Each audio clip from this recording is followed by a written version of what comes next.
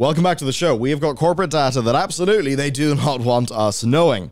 Is three times the investment, literal money put into Spider Man 2, evident to people who play that game? That's my question.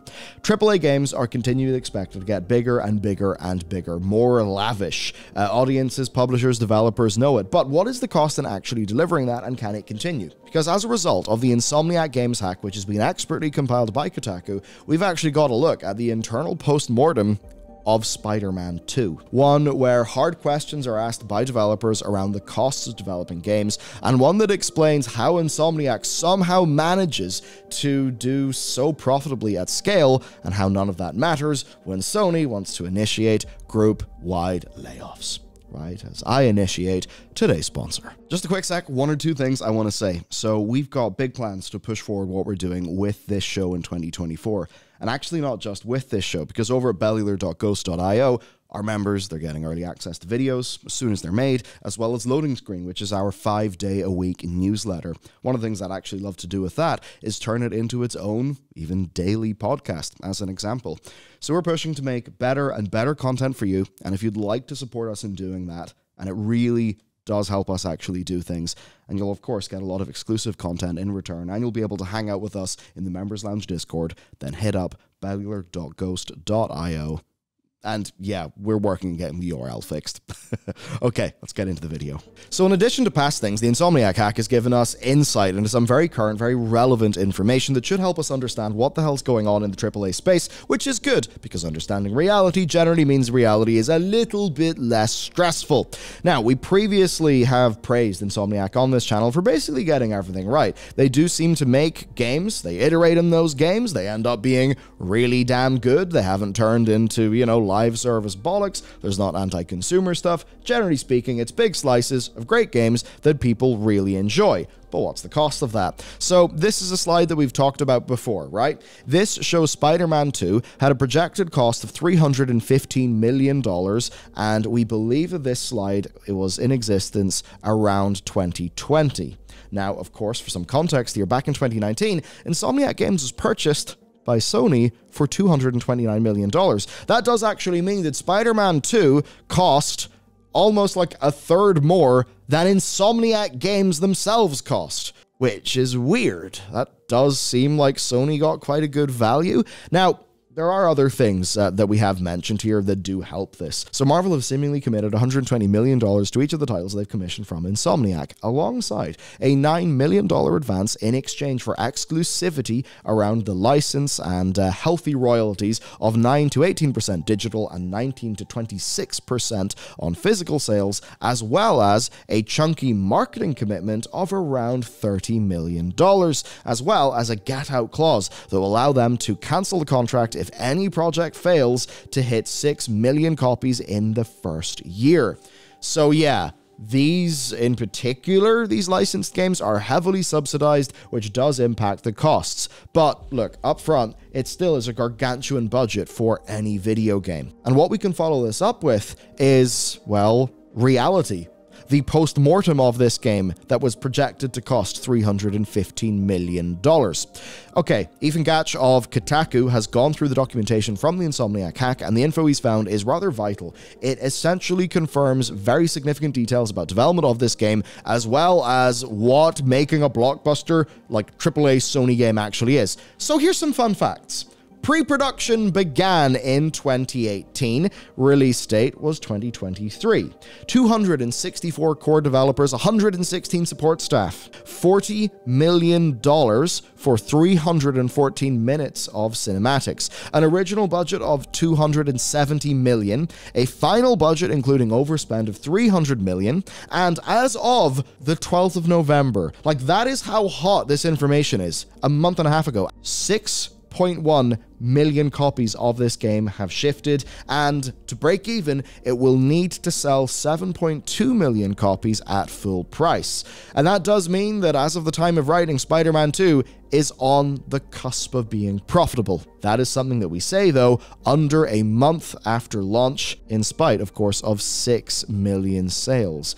Uh, yeah, it, it does feel like a staggeringly impossible uh, just like all of these numbers, they're so damn big. Now, look, with, uh, of course, uh, you know, Christmas and stuff, always a lot of consumerism going on then. Plenty of people will be buying Spider Man, okay? So, a lot of people will buy the game for then, and obviously, it's going to have a very healthy long term sort of sales tail. The attach rate for these games is generally fantastic. So, I think there's really no risk that this game is not going to end up turning a profit. But it certainly, you know, hasn't been a, oh, look, boom, you've printed money. And as much as all of this may seem crazy, in the context of paying salaries for nearly 400 people for four years, it's kind of not shocking. Uh, Rami did some napkin math here. He said, take uh, 36,960 work hours multiplied by $7,750. That's about $286 million, in, assuming Insomniac had lower costs near the start, I would guess you can deduct anything between 30% and 10% from that number, with an educated guess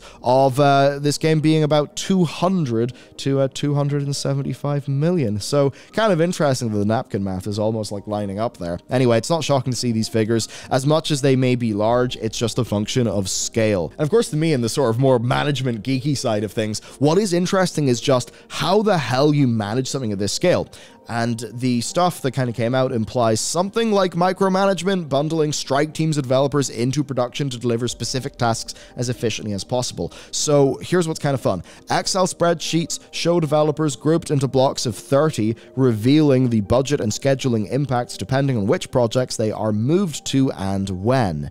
So that's all kind of cool to me. But anyway, what's interesting here is what Insomniac are saying about their next game, and frankly, the implications of needing to hit 7 million sales to break even. I mean, do you remember whenever Square Enix would say, oh, the Tomb Raider game didn't sell 6 million copies, we're disappointed? Oh, it's like that same thing is just continuing. Obviously, though, being a first party uh, tentpole, you know, stuff's kind of different here. And again, thinking about what they need to hit break even, Think about the revenue waterfall on this game as well, with the money that's got to go over to, um, you know, over to Marvel, of course. So per the presentation seen by Kotaku, Spider-Man 2 is the team's most expensive game ever. The question then is, how the hell do you follow up? And what happens if something goes wrong? Here's a quote We have to make future AAA franchise games for $350 million or less. That's what one slide says from a sustainable budgets presentation earlier on this year. In today's dollars, that's like making Spider Man 2 for $215 million. So, actually, accounting for inflation, they're reducing their budgets. That's kind of interesting to me. Maybe that means that Spider Man 2 actually spooked them a little bit. This really is a studio that is identifying areas like cutscenes that went over budget, maybe aspects of their production model that led to cost overruns, that kind of thing. And there is an admission here on a sort of hard limit of what they can accomplish uh, to you know in order to actually achieve profitability here because simply throwing more money doesn't seem to be translating to an experience that you know kind of reflects the price. And i suppose look if you're thinking about like why are games more expensive now? This game sold 6 million copies and hasn't broken even yet. And this is a game that was partially funded with 120 million dollars from marvel. I mean come on right? And that's what brings me back to the lead quote of today's video is 3x the investment in Spider Man 2 evident to anyone who plays the game? And maybe that's the bit that matters. So, what about Miles Morales? right? Was that not supposed to be the solution to all of this? A smaller scoped game that made use of existing assets and systems to deliver a really great experience that would give them, you know, more releases, better sort of like risk reward? And I think the answer there is yes, because guess what? The budget for this game was $90 million. That is the budget for Miles. 90 million. Of course, uh, that is actually contrasted with a projected 156 million in the uh, initial slide. So that's actually quite interesting. But here's the thing Miles sold 10 million copies. And that means that Miles was bloody profitable. Probably more profitable than Spider Man 2, because Miles cost a reasonable amount of money to develop.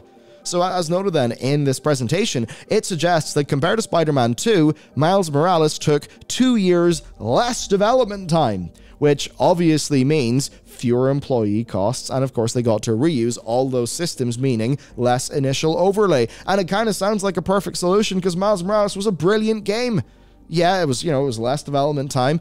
Uh, it, it cost less. It was a smaller game. It was a really high level of quality, though, the same level of quality. Now, obviously, you do need that very high initial investment at some stage, right? You need to, I don't want to say platform, but you could almost take Spider Man 1 as a platform that Miles Morales could be built on and maybe a similar thing will happen with Spider Man 2. So, look, if you're going to be doing new IP or a really big leap forward for an older IP, you kind of do need to take that humongous uh, initial hit, especially if the game is to be considered as ultra premium and must have by customers. So, overall, what we've basically learned is Spider Man 2, while a brilliant game, is potentially an exercise in spending way too much money in a project for really not that much of a reason right? I mean, costs will naturally go up over time a little bit, but it's not like Spider Man 2 is like that much bigger than Spider Man 1. And yeah, there's loads of things that are refined and better, etc. You, you get it, but I think the core point here is really obvious. And this is all something the company's definitely thinking about. Uh, basically, standalone efforts that will lead to sort of sequels as bridging steps. And that does make a lot of sense because it really seems like Miles Morales is where a lot of the profit was actually made. And that's totally fair. I'm happy with them to profit from that because number one, it's the fruits of their labor from Spider Man, which is a brilliant game, and from Miles Morales, which is also a brilliant game, where many people, me included, we're just kind of, you know, we wanted more in that world, and that's exactly what we got. Essentially, it's more efficient development. And look, efficiency doesn't mean worse. It doesn't mean that it feels less premium, actually. And while all of this makes sense to us as people who perhaps understand what it's like to run a budget, like, look, even if it's a family budget, you know, if you somehow spend like twice as much money in a year and you think, am I twice as happy? Have I actually achieved goals? You'll know there's something wrong. And that's almost what they're doing here. They're like, hey, we've spent so much more money in this game have we actually, uh, you know, got a reward in line with this massively larger investment? Okay. And they're thinking about how they can be more efficient, more prudent in the future. And this is good because we want healthy, sustainable companies. And it does seem that Insomniac are very interested in being one of those. But what about Sony then? Because obviously, things have been happening at Sony. We've been tracking layoffs this year, and one that's went a bit more under the radar, mostly because Bungie dominated the news there, it is that Sony have been skimming the top off each of their studios to reduce operating costs. Now, the rumors were broadly that every studio was kind of asked to do some sort of you know, proportional set of layoffs, right? Uh, and a document does confirm that this is happening, a document that has been seen, and that at least one studio closure is being considered. And that closure, I mean, that's the more shocking thing. Uh, now, here's the information uh, that's revealed via this hack. Presentations earlier in the year project to a rough head count of 500 moving forward. But a September email from Sony specified a full time employee max headcount of 470, down from its current estimated 485 employees.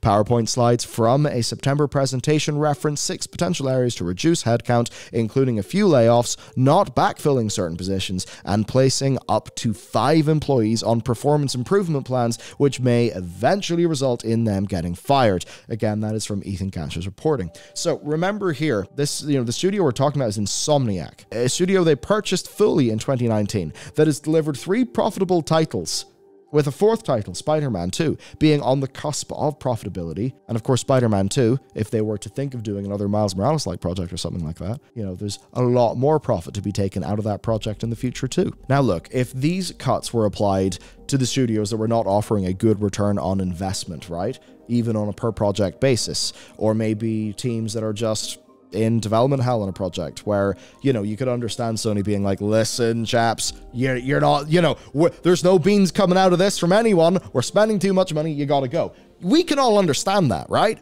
But from Insomniac, that's doing excellent. That does feel weird. And think about it from a morale perspective. Insomniac comes in absolutely delivers everything you could want, including commercial success. And part of their reward is that they need to meet cost reductions in order to help the overall group meet its target, even though they are likely disproportionately contributing to the group's revenue. So this seems mad. Ugh, fuck me. Now, a dimension that we do get from the hack here is kind of unlike a lot of what we've seen elsewhere, where we can essentially see how individual company leadership plans to navigate this within the context of being in the Sony group. So Kotaku report that the following is from a PowerPoint note attributed to the founder of Insomniac Games, Ted Price. Quote, slimming down Ratchet and cutting new IP will not account for the reduction Sony is looking for. Oh my god. To remove 50 to 75 people strategically, our best option is cut is to cut deeply into Wolverine and Spider-Man 3, replacing lower performers with team members from Ratchet and new IP. So basically, they've got to cut down like Ratchet. They've, no, they've got to cut down everything. Then they've got to take people from Ratchet and throw them into uh, the, the, games that they've already cut down, uh, and you know, re- replacing lower performers at the company. And uh, this is quite strange because now think about this from Ted's uh, perspective. Obviously, this will all kind of suck to him, right? Um, and yes, it may seem a bit weird talking about you know low performers replacing low performers, but look, you know when you when you put your business hat on, obviously in companies there are high performers there are low performers. And generally speaking the, the, high performers are kind of the ones you want to focus on right? And you know if people are low performing for a long time yeah you're actually in your right to replace them with someone who isn't. I, a lot of the time obviously we talk about layoffs we talk about a lot of this uh, stuff. And sometimes I think in some audiences, uh, some sort of discourse that goes on, people almost act as if companies, you know, it's it's almost like it's a company's duty to employ people um, or whatever. Uh, where no, it's the company's duty to fulfill their end of an employment contract, uh, you know, within local governing law. And at the end of the day, if somebody is not, you know, it's a two way street. If a company badly wrongs somebody, that person needs to you know, be able to have sort of recourse there. That does cut both ways though, right? So the idea, like it may be uncomfortable, but I think the lack of comfort in what Ted said there is not him being some sort of evil ghoul. I think it is far more a reflection of we're just talking about a lot of people, and this is about scale.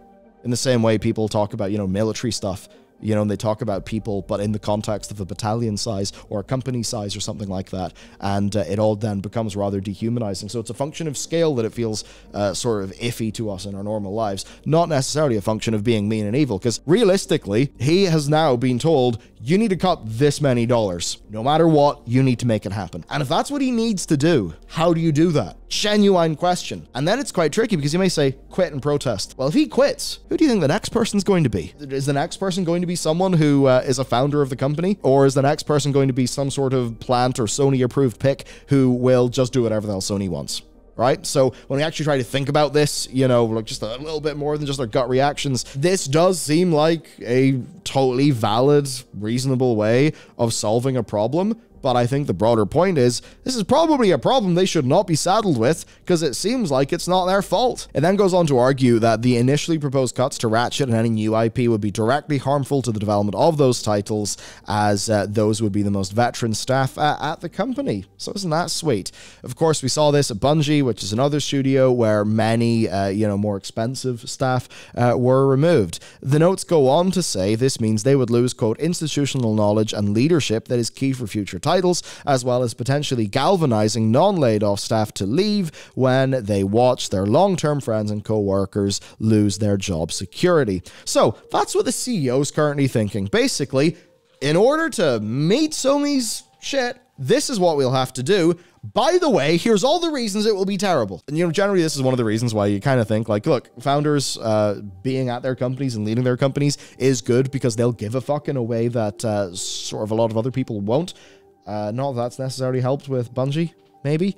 Or maybe we just need to actually see more of what the CEO of Bungie has actually said internally. I don't know. But a lot of things do look quite bad in Bungie management, certainly from the external perspective. But anyway, look, none of these rationales are particularly surprising things. They basically echo stuff that any random pundit could say, right? What Ted has actually said here, like lose institutional knowledge. How many times have I said that in this show? I mean, and of course, because what I'm saying is not special, and uh, what you know, obviously he'll know. He's the CEO. He's the founder of a large studio. He knows what institutional knowledge is.